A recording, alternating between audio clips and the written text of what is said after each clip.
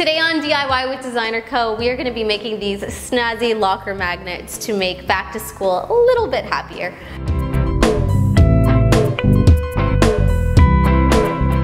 For today's puff magnet tutorial, you're going to need a few supplies, some embroidery floss, some interesting buttons. I love vintage ones, but anything goes.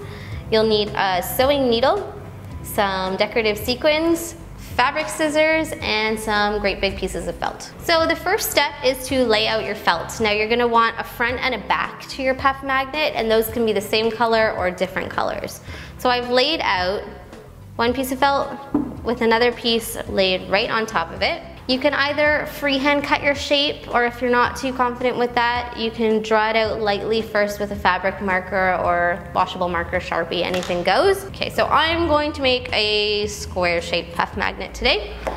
And I'm going to freehand it because I like the organic look too and I don't want it to be super duper perfect. So I've cut out my shape. I've got a square and I've got two layers that are pretty well the same size. So the next step for our puff magnets are to decorate the front side of it um, before we stitch them together. Um, that's with sequins, with buttons, whatever you can dig up. Um, you can use complementary colored thread or you can use a contrasting color. So I've chosen yellow for my pink felt. I think it gives it a really nice fun pop.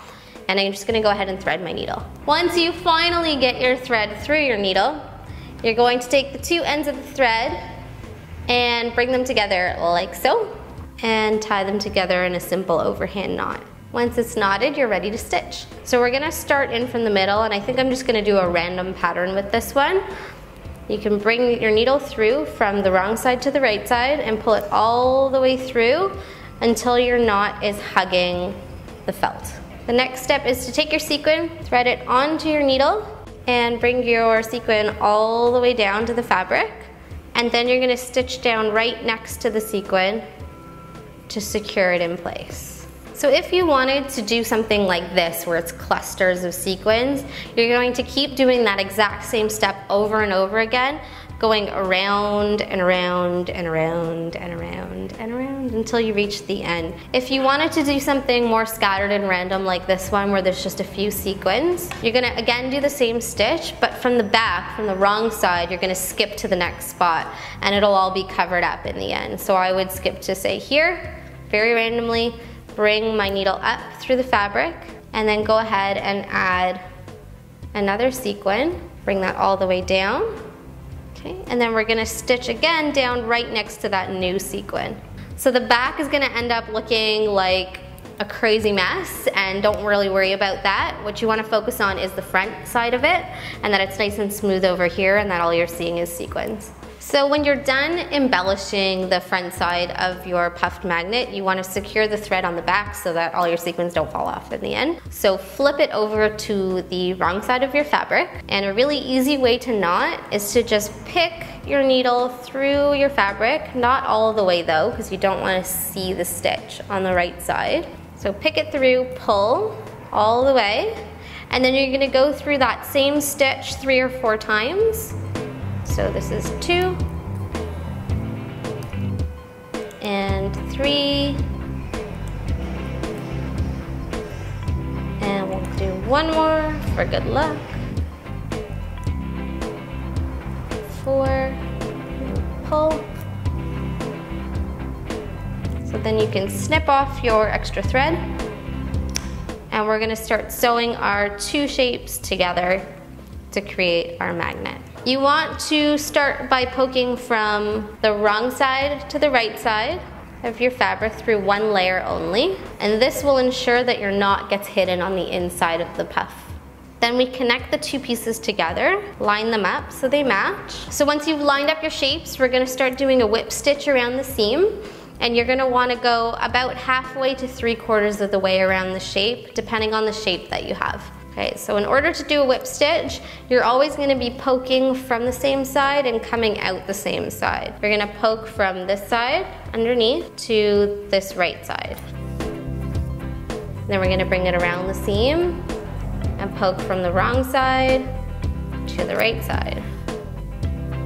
And around the seam and outside to the inside. So this is a decorative stitch. You're meant to see the stitches So again, you might wanna have fun with a different color um, for your thread.